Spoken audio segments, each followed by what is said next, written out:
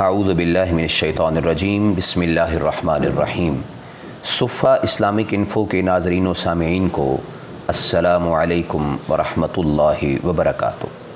Depression की वजूहत और उसके रूहानी इलाज पर मबनी वीडियो सीरीज़ की तीसरी और आखिरी वीडियो में खुश आमदीद इस वीडियो में डिप्रेशन के जिन अहम मसाइल और उनके इलाज का तस्करा किया गया है, वो कुछ इस तरह से हैं। नंबर एक, सब्र शुक्र का रवैया ना होना है। यानी जब हमें कोई नेमत मिलती है तो उसे अपना इस्तेकाक और कोई मुसीबत और तकलीफ़ पहुँचे तो उसको दूसरों के सर बाँध कर अल्लाह ताला से गिले शिकवे शुरू कर देते हैं। ये रवैया हमें डिप्रेशन की तरफ़ कैसे ले जाता है और हम इससे कैसे निकल सकते हैं? नंबर दो, सिर्फ़ लेना जानते हैं, देना नहीं। यानी लेने पर ज़ोर देना और देने की तरफ़ तवज्जो ना करना।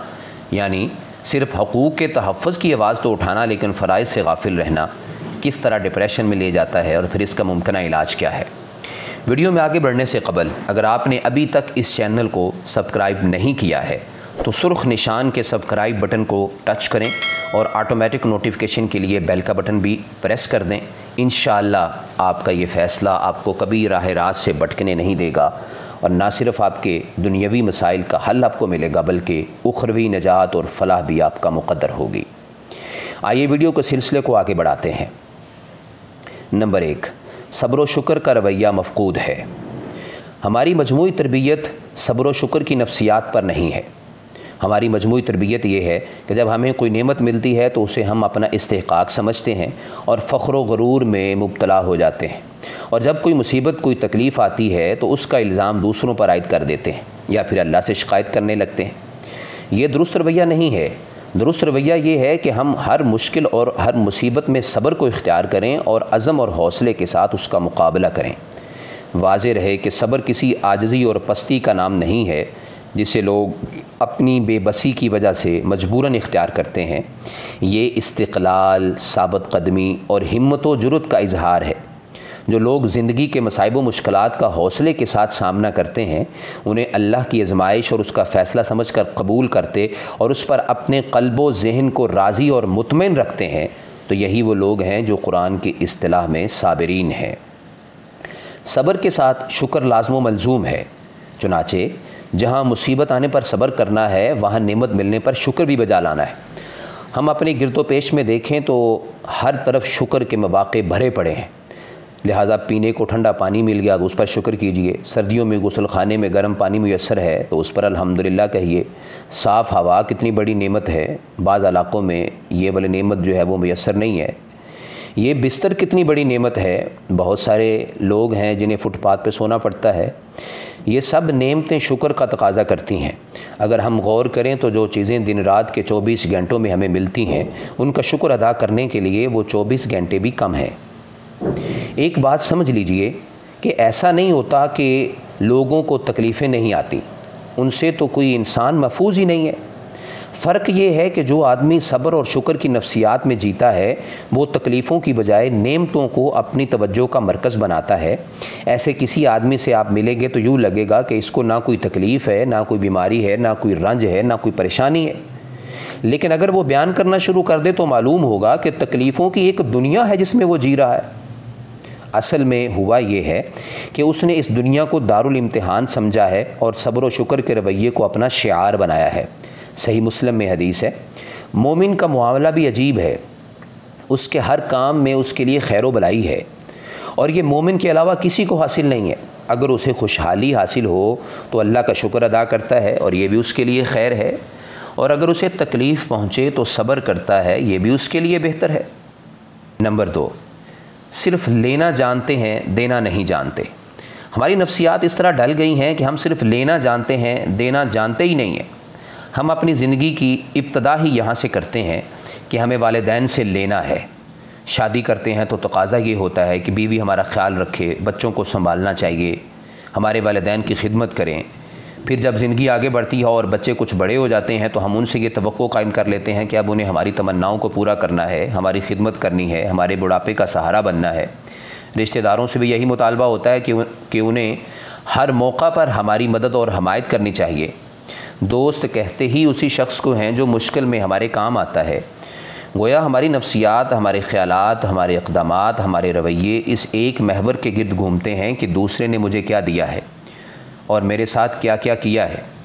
इस पर कायम ही नहीं होते कि मैंने उसे क्या दिया है और उसके साथ क्या क्या किया है। ये तकाज़े और मुतालबे, शक व शुबे और शिकवा और शिकायत का बायस बनते हैं। उसकी वजह यह है, कोई शख्स भी मुसलसल हमारी तो पूरी नहीं कर सकता। रफ्ता रफ्ता उसे हाथ खींचना पड़ता है। यहीं से गिले और शिकवे के एहसास जन्म लेते हैं। ये एहसास कभी यास और नाउमीदी पैदा करते हैं तो कभी गम गुस्से और नफ़रत व इंतकाम के जज्बात की सूरत इख्तियार कर लेते हैं। असल में लेना हमारी ज़िंदगी में कहीं दाखिल ही नहीं होना चाहिए। हर इंसान को शूरी ज़िंदगी के पहले कदम पर यह फ़ैसला कर लेना चाहिए कि मैं देने के लिए पैदा हुआ हूँ, मेरे लिए ये दुनिया लेने की जगह नहीं है। देने की जगह है। मुझे वालदेन को भी देना है, बीवी को भी देना है, बच्चों को भी देना है, दोस्तों को भी देना है माशरे को भी देना है। चुनाचे वालदेन का मसला ये होना चाहिए कि ये मेरे बच्चे हैं, इन्हें पैदा करने का फ़ैसला मैंने किया है। उन्होंने मुझे कोई दरख्वास्त नहीं की थी। अब मुझे उन्हें पालना है, उनकी परवरिश करनी है, उनको अच्छा माहौल फ़राहम करना है, उनकी ज़रूरतों को पूरा करना है। मुझे ये सब कुछ किसी सिले की तो के बग़ैर करना है, क्योंकि ये सब कुछ मेरे फ़रज़ में शामिल है। बच्चे जब बड़े हो जाएँ तो उन्हें भी वालदेन के लिए इसी देने की नफ्सियात को इख्तियार करना है।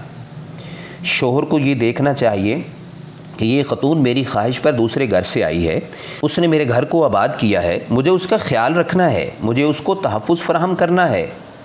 उसी तरह बीवी को भी ये समझना चाहिए कि उस शख्स ने मुझ पर भरोसा किया है, अपना घर बार मेरे हवाले किया है, मेरी ज़रूरतें पूरी करने की ज़िम्मेदारी उठाई है।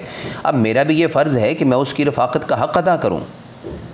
चुनाचे मुतालबा आपके वजूद से निकलना चाहिए, तकाज़ा आपकी ज़ात का हिस्सा ही नहीं रहना चाहिए।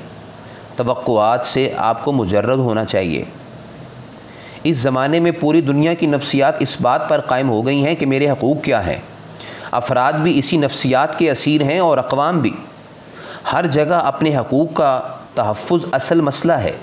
उसके बरक्स इस्लाम में हकूक़ इंसानी का कोई मंशूर ही नहीं है। फ़रज़ की फ़रिस्त है जिन्हें अदा करना हर शख्स के लिए ज़रूरी है। चनाचे वालदेन के भी फ़रज़ हैं, औलाद के भी फ़रज़ हैं, शोहर के भी फ़रज़ हैं, बीवी के भी फ़रज़ है, आलिम के भी फ़रज़ हैं, हुक्मरान के भी फ़रज़ हैं, शहरी के भी फ़रज़ हैं, सब फ़रज़ ही फ़रज़ हैं। असल में जब हम अपने फ़रज़ अदा करते हैं तो दूसरों को उनके हकूक़ मिलते हैं। और जब दूसरे अपने फ़रज़ अदा करते हैं तो हमें हमारे हकूक़ मिलते हैं। गोया एक ही नतीजे तक पहुँचने के लिए दो अप्रोचेज़ हैं। एक हकूक़ की अप्रोच है और दूसरी फ़रज़ की अप्रोच है। एक लेने की अप्रोच है और दूसरी देने की अप्रोच है। इस्लाम हकूक़ की नहीं, बल्कि फ़रज़ की अप्रोच को इख्तियार करता है और लेने की नहीं, बल्कि देने की तरगीब देता है। उसका नतीजा ये निकलता है कि जब आपको आपका कोई हक़ नहीं मिलता तो आप मायूसी और नाउमीदी का शिकार नहीं होते, बल्कि अल्लाह की रज़ा पर राज़ी और मुतमिन रहकर ज़िंदगी का सफ़र जारी रखते हैं। मोहतरम नाजरीन सामीन, डिप्रेशन के रूहानी इलाज पर वीडियो सीरीज़ की ये आखिरी वीडियो है। मैं इंतहाई वसूख से कह सकता हूँ कि आप मेरी तीनों वीडियोज़ में मौजूद हक़ को जब अमली और शौरी तौर पर अपनाएँगे तो इन depression, anxiety, stress, mental disorder जैसी कफ़ियत से हमेशा के लिए नजात हासिल कर लेंगे। अगर आपका कोई सवाल है तो उसे भी कमेंट सेक्शन में पूछ सकते हैं।